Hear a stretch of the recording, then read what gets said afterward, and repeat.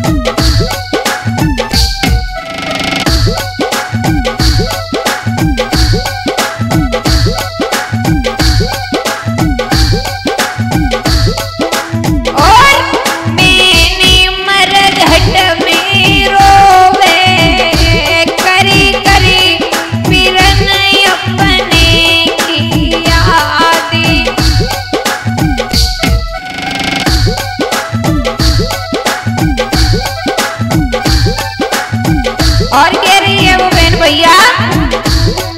याद तेरी मंडप में आवे।